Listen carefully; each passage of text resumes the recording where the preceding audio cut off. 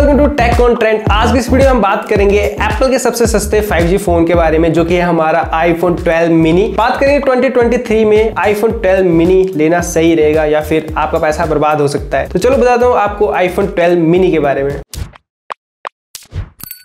सबसे पहले मैं इसकी बिल्ड क्वालिटी और डिज़ाइन के बारे में बात करूँ तो ये हमारा आईफोन 12 का छोटा भाई हम इसे कह सकते हैं। बस सेम डिज़ाइन दे के रखा है, सिर्फ़ साइज़ में फ़र्क है। आईफोन 12 हमारा 6.1 इंच की स्क्रीन के साथ में आता है और ये हमारा 5.4 इंच की स्क्रीन के साथ में आता है। साइज़ में काफ़ी छोटा है तो जिन लोगों के हाथ छोटे हैं, उनके लिए ये फ़ोन परफेक्ट है। और जिनको मतलब छोटे क्यूट जैसे फ़ोन पसंद आते हैं तो उनके लिए ये फ़ोन ठीक है। और जो मेरे जैसे हैं, जिनके हाथ थोड़े बड़े हैं तो फिर उनको ये फ़ोन काफ़ी दिक्कत दे सकते हैं, जैसे टाइपिंग के टाइम और इन हैंड फील भी थोड़ा हो सकता है कि आपको उतना अच्छा ना लगे, जैसे मुझे भी पर्सनली नहीं लगा था इसका छोटा साइज़ होने की वजह से। और बाकी जो इसकी बिल्ड क्वालिटी है, वो काफ़ी अच्छी है। एल्यूमिनियम की चेसी यूज़ की है सॉलिड है। फ्रंट और बैक साइड ग्लास की देखे रखी है। स्क्रीन में यहाँ पर सेरेमिक सिल्क का यूज़ किया है। एप्पल की सबसे टफेस्ट स्क्रीन है। आईफोन 14 में भी हमें ये देखने को मिलती है। तो मतलब अगर आपको फ़ोन गिरता है तो इजिली टूटने वाला नहीं है। और इस सेरेमिक सिल्क की एक दिक्कत है स्क्रैचेस बड़ी जल्दी आ जाते हैं तो आपको टेम्पर ग्लास लगा के रखना पड़ता है। नहीं लगाओगे तो आप स्क्रीन देख सकते हो, ऐसे स्क्रैचेस बहुत जल्दी आ जाएँगे। और ये फ़ोन हमारा आईपी सिक्सटी रेटिंग साथ में भी आता है। मैंने खुद इसका वाटर टेस्ट किया है। उसकी आपने पूरी वीडियो देखनी है तो उसका लिंक मैं नीचे डिस्क्रिप्शन में दे दूँगा। और जो रिज़ल्ट थे वो काफ़ी अच्छे हैं। आईफोन 12 मिनी अगर आप पानी के अंदर लेके जाते हो तो खराब होने वाला नहीं है। पर मैं आपको रिकमेंड नहीं करता हूँ क्योंकि एप्पल वाटर रेसिस्टेंस कहता है। मतलब फुली वाटर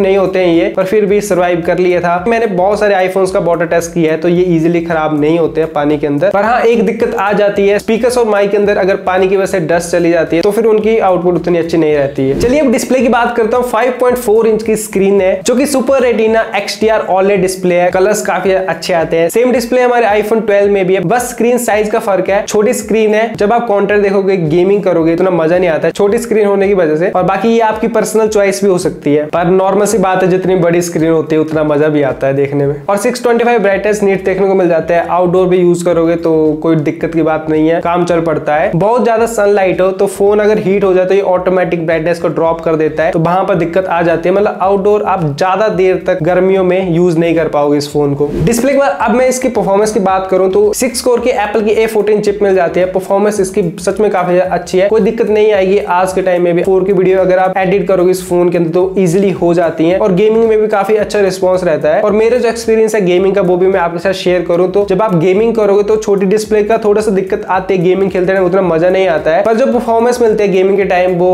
हंड्रेड परसेंट मैं कह सकता हूँ उसे। सिक्सटी एफ़ अगर आपको मिल रही है बीजेमआई जैसे गेम में तो वो कॉन्स्टेंट सिक्सटी एफ़ ही रहते हैं। तो गेमिंग के टाइम आपको कोई भी लैग देखने को नहीं मिलेगा। बस एक दिक्कत है, जब फ़ोन हमारा हीट हो जाता है तो ऑटोमेटिक ब्राइटनेस ड्रॉप कर देता है, जो कि हमारे बाकी आईफोन्स में भी दिक्कत रहती है। आईफोन 14 में थोड़ा ठीक हुई है, बाकी में ये दिक्कत है अभी भी, जो कि आपको आईफोन 12 मिनी में भी देखने को मिलेगी। और अगर आपका मेन पर्पज गेमिंग का ही है तो फिर मैं आपको ये कहूँगा कि आपको पावर बैंक साथ में रखना ही पड़ेगा, क्योंकि इसका जो बैटरी बैकअप है, वो मुझे बिल्कुल भी अच्छा नहीं लगा। ट्रिपल टू सेवन एम की बैटरी मिल जाती है। बैटरी बैकअप इसका इतना अच्छा नहीं है। अगर आप गेमिंग करोगे तो फिर आप मुश्किल से दो या तीन मैच खेल पाओगे। मतलब दो घंटे के आसपास ये गेमिंग के टाइम आपको बैटरी बैकअप निकाल के देगा। और बैटरी बैकअप की बात कर रहा हूँ तो अगर आप नॉर्मल भी इस फ़ोन को यूज़ करोगे, तब भी आपको उतनी अच्छी बैटरी बैकअप इसका देखने को नहीं मिलेगा। पूरा दिन ये बड़ी मुश्किल से निकाल के देता है। अगर आपको इसका पूरा दिन का बैटरी बैकअप चाहिए तो आपको काफ़ी सारी सेटिंग्स इसकी बंद करना पड़ेगी। जैसे फाइंड माई इसका बंद करना पड़ेगा लोकेशन सर्विसेज़ बंद करना पड़ेगी, काफ़ी सारी एप्लीकेशन की नोटिफिकेशन आपको बंद करना पड़ेगी। तब जाके ये अच्छी बैटरी निकाल के देता है। वरना इसका जो बैटरी बैकअप है, वो आपको बिल्कुल भी अच्छा नहीं लगेगा। पर जिस प्राइस में आपको ये मिल रहा है, वो काफ़ी अच्छी बात है क्योंकि अभी ये फ़ोन हमें काफ़ी सही प्राइस पर देखने को मिल जाता है। जब ऑफ़र चलते हैं तो 38 से 40,000 के बीच में देखने को मिल जाता है उससे कम में भी चले जाता है ऑफर्स के टाइम तो इसमें जो अच्छी बात है एक तो ये हमारा 5G फ़ोन है और दूसरा आपको अच्छी डिस्प्ले देखने को मिल जाती है। बस साइज़ में छोटा है बिल्ड क्वालिटी काफ़ी अच्छी है बॉर्डर टेस्ट मैंने इसका किया है खुद उसमें भी काफ़ी अच्छा है और उसके साथ में वायरलेस चार्जिंग भी मिल जाती है और मैक्सिफ एक्सेसरीज भी आप यूज़ कर सकते हो इसके साथ में। और सबसे अच्छी बात इसका कैमरा जब आप इसका कैमरा यूज़ करोगे तो फ़ोटोज़ तो इसके साथ में काफ़ी अच्छे आ जाते हैं कुछ फ़ोटो सैंपल भी आप देख लो।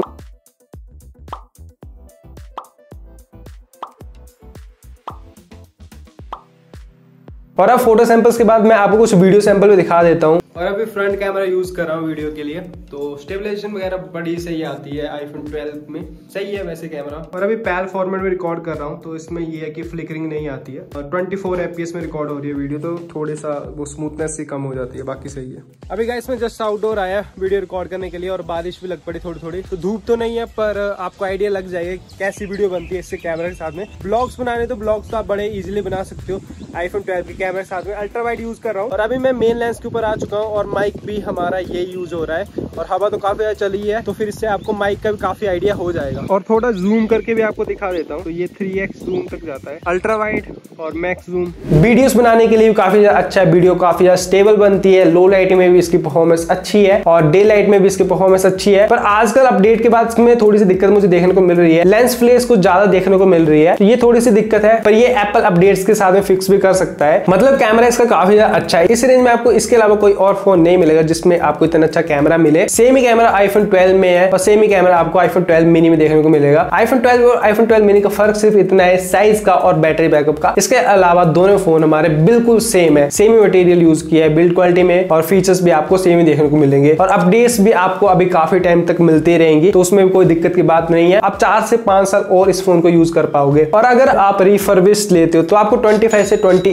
के बीच में बड़े आराम से मिल सकता है। तो फिर वो भी आपके पास एक ऑप्शन बन जाती है। तो फिर गाइस अगर आप सोच रहे थे कि 12 मिनी तो आपने लेना है तो फ़ोन अच्छा है, बस बैटरी का आपने देख लेना है। पावर बैंक आपको साथ में रखना पड़ सकता है या फिर आपको काफ़ी सारी सेटिंग्स बंद करना पड़ सकती है। और साइज़ का थोड़ा देख लेना है। एक बार आप खुद से ट्राई करना मेरे हिसाब से। फ़ोन को हाथ में पकड़ना, थोड़ा यूज़ करना, क्योंकि टाइपिंग एक्सपीरियंस मूवीज़ देखने का इंस्टाग्राम यूज़ करते होंगे आप मतलब सोशल मीडिया यूज़ करते होंगे तो फिर आप उतना एंजॉय नहीं कर पाओगे, क्योंकि स्क्रीन का साइज़ छोटा है तो वो आपने देख लेना है। तो फिर गाइस ये था हमारे आईफोन 12 के बारे में। तो इन सारी बातों का आपने ध्यान रखना है और कैमरा तो आपको अच्छा मिल ही जाता है। तो मिलते हैं अब आपके साथ नेक्स्ट वीडियो में। पहली बार आए थे इस चैनल पर सब्सक्राइब कर लेना और ब्लॉग चैनल का लिंक है नीचे डिस्क्रिप्शन में। मैं तो आपके साथ नेक्स्ट वीडियो में। Bye bye